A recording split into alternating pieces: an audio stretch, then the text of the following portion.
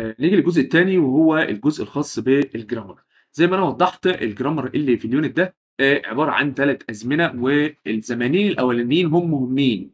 آآ مهمين لإن ما فيش امتحان ثانوية عامة بيعدّي إلا لمّا بييجي tricks كده في الماضي التام أو الماضي التام المستمر.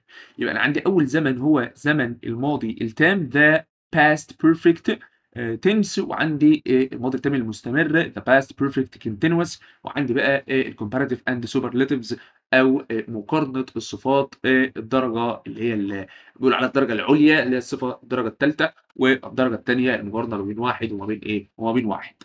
طيب.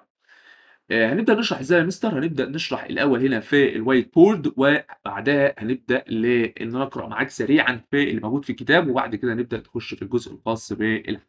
طيب صلّي بينا على حضرة النبي وقول عليه الصلاة والسلام. آآ هنبدأ كده زمن الماضي زمن الماضي التام. ركّز معايا في الكلام اللي أنا باقوله لإن قبل ما نخلّص هتكون أنت حافظ معايا الجزء ده، وإن شاء الله تقدر تحل عليه كمان. آآ زمن الماضي التام يا مستر هو بيعبّر عن إيه أو بيتكوّن من إيه أو إحنا هناخد فيه إيه؟ هناخد فيه الform اللي هو التكوين وهناخد فيه بعض الtricks. الtricks اللي هي بقى الحتت الإيه بقى، اللي بتيجي في الثانوية العامة. طيب الform ده بيتكوّن من إيه يا مستر زمن الماضي التام؟ ركّز معايا فيه لإن هاكلّمك عن الform في 4 حاجات مهمة. آآ أول حاجة يا مستر هي الform أو يبقى الform ده رقم 4 لو أنت تفتكر في الunit 1 لمّا شرحنا فيه الما الماضي البسيط وشرحنا فيه ال الماضي المستمر والمضارع التام. قُلت لك أي زمن فيه الform اللي فيه 4 حاجات أو التكوين اللي فيه 4 حاجات. آآ أول جزء يا مستر في اللي هو ال التكوين، التكوين في ال المضارع آآ عفوًا التكوين في الجملة العادية الجملة العادية والتكوين في النفي والتكوين في السؤال والتكوين في المبني للمجهول. يبقى دي كده رقم 4 أو ال4 تكوينات اللي أنا مطالب إيه، اللي أنا مطالب بيهم. يبقى تاني أنا مطالب بالتكوين في الجملة العادية، التكوين في النفي، التكوين في السؤال، وتكوين المبني للمجهول. بعد كده في بعض الtricks بقى آآ آآ ممكن أزوّد بقى كمان أهو الkeywords أو الكلمات الدالة، برضه ممكن نتكلّم فيها إحنا هنتكوّن هنتكلّم في الform والtricks والkeywords أو الكلمات الدالة ويعتبر دي اللي فيها الشغل كُلّه يعني. طيب التكوين في الجملة العادية بقى أو قبل ما أقول التكوين هاقول لك الusage. يعني إيه الusage يا مستر؟ اللي هو الاستخدام. لو قُلت لك بكل بساطة ده الخط الزمني أهو يا مستر. فلان الفلاني اللي واقف في نُص السكة واللي فات ده بالنسبة له past أو ماضي، الجزء اللي هو فيه هو present اللي هو مضارع، والجزء اللي جاي فيه هو أو الجزء اللي لسه جاي هو الfuture أو المستقبل. لو قُلت لك إن الماضي ده يا مستر آآ لو في حاجة حصلت الأول، أنا صحيت غسلت وشّي، طب ده ده رقم 1. طيب آآ حصل بعد كده اللي أنا رُحت المدرسة، يبقى ده كده رقم 2. خلّي بالك أنا أنا باعبّر عن كام حدث؟ عن حدثين في الماضي. عايز أعبّر عن الحدث الأول ده أو عايز describe أو أوصف الحدث الأول ده، أوصفه إزاي؟ هاقول لك هو حدث وقع قبل حدث آخر في الماضي. يبقى أنا باذكر حدثين. لو أنا عايز أوصف الحدث الأول ده اسمه وصف كده يعني إيه، باوصفه من حيث هو هو بيعبّر عن إيه، أو هو شكله إيه، أو هو آآ مكانته فين، باوصفه من حيث المكانة. يبقى هو مكانته جه قبل حدث تاني في الماضي. طب ممكن يكون عندي حدث تالت، ممكن يكون عندي حدث تا عندي حدث رابع، عندي حدث رابع. يبقى لو عايز أوصف الحدث الأول هو ماضي تام. يبقى لو أنا عندي الحدث اكتب الجملة دي عندك، الحدث الأول هو ماضي تام. طب والحدث التاني هو ماضي إيه؟ هو ماضي بسيط. ده كده الحدث التاني. طب لو حدث تالت هيبقى ماضي بسيط، طب لو حدث رابع هيبقى ماضي بسيط برضه، طب لو خامس هيبقى ماضي بسيط برضه. يبقى أنت عايز تقول لي الحدث الأول هو ماضي تام وأي حدث هييجي بعد منه هو ماضي بسيط. يبقى بكل بساطة هو حدث وقع قبل حدث آخر في الإيه، في الماضي. طب بقى الform بقى، أنت قُلت لي الform أو التكوين عندي 4 حاجات هاتكلّم فيهم. طب الحاجة الأولانية هي الجملة العادية. الجملة العادية. بيتكوّن من إيه بقى في الجملة العادية؟ قال لك بيتكوّن ما بين had طبعًا عندي هنا فاعل، خلّي بالك من الكلام. فاعل وhad والتصريف الإيه، والتصريف التالت. فاعل، had، التصريف التالت. زي إيه يا مستر؟ لمّا آجي أنا باقول لك أهو I had watched ده بس ده إيه، ده يعتبر نُص جملة، يعني المفروض هنا فيلم وأحط لك مثلًا before لأ، خلّينا بس في الجزء الأولاني ده، يبقى هنا عندي هاد اهو وعندي التصريف الايه؟ وعندي التصريف التالي ده كده الجملة العادية. طب رقم اتنين الجملة المنفية. بكل بساطه عشان عندي دي هاد يبقى أنا هقول هقول هقول اهو نوت يبقى فاعل had not اللي هي hadn't والتصريف الايه؟ والتصريف الثالث يبقى ده تكوين الجملة العادية. ركز كده في الكلام واعمل إيه؟ زي مربع كده. وأدي تكوين الجملة الإيه؟ في النفي. طب ده ده كده تاني حاجة. طب تالت حاجة بقى تكوين السؤال. أنا عندي two kinds أو two types of question أو نوعين اتنين من الأسئلة. يبقى أنا عندي هنا رقم ثلاثة الجملة ال آه آه السؤال بقى عفوا حالة السؤال.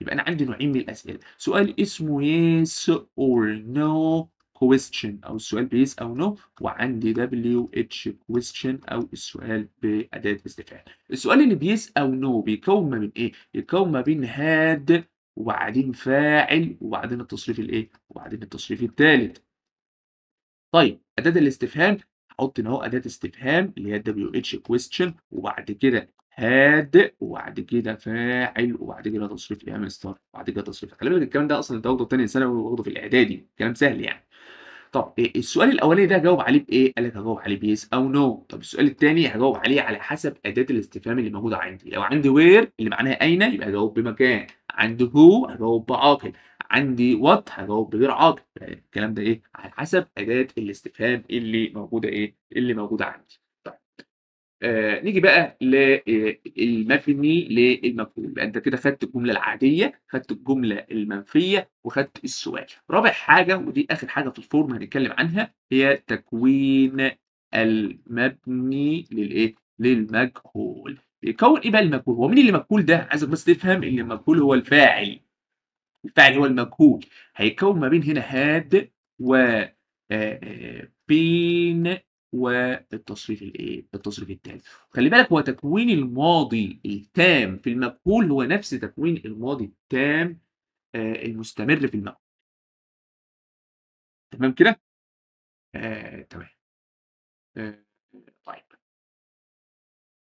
يبقى had been والتصريف الايه؟ التصريف الثالث طب يبقى أنت كده خدت الإيه؟ خدت التكوين يبقى التكوين تاني بكل بساطة أربع حاجات تكوين الجملة العادية تكوين السؤال تكوين النفي تكوين الإيه؟ تكوين المجهول تعالى بقى في ال key words تعالى في إيه؟ كلمات الداله خلي بالك دي اللي عليها الشغل كله بقى ال key words أو الكلمات الإيه؟ الكلمات الداله أنا عندي ثلاث أنواع من الكلمات الداله أو 3 groups من الكلمات الداله طب أنت على أي أساس قسمتهم لثلاث أنواع؟ على أساس إن كل نوع بينطبق عليه نفس القاعدة. يعني النوع النوع الأولاني فيه ثلاث كلمات دالة كلهم بينطبق عليهم نفس القاعدة نفس الكلام النوع الثاني نفس الكلام النوع الثالث طب اديني بقى أمثلة. لما أقول لك هنا النوع الأول فيه after أنا بحب أقول عليها مجموعة after after و as soon as و till و until أنت بتكتب ورايا يا إما أنا هبعت لك ال white board دي. آه وأنصحك إنك تكتب ورايا أفضل يعني. المجموعة التانية هي مجموعة before و by the time و when والمجموعة التالتة هي no sooner than و hardly when و scarcely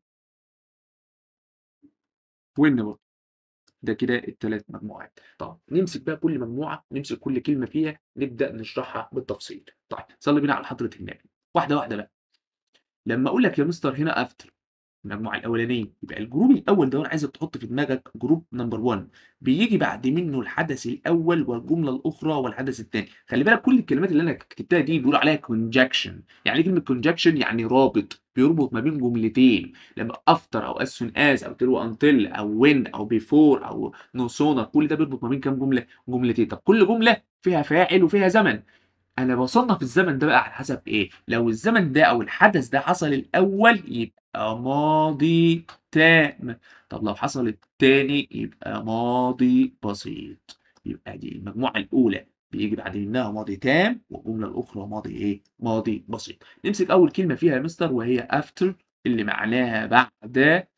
بيجي بعد منها أهو ماضي تام والجملة الأخرى هي ماضي بسيط. ده كل الإيه؟ ده بكل بساطة. طيب لو after جت في النُص هيبقى ما فيش مشكلة، آدي after هنعملها small لإن هي جاية في النُص وهيبقى هنا هو اللي الماضي التام وهيبقى الناحية التانية هنا هو الماضي البسيط. الكلام واضح. دي كده after اللي معناها بعد. طب as soon as اللي ينطبق على after هو نفسه اللي ينطبق على as soon as اللي معناها بمجرد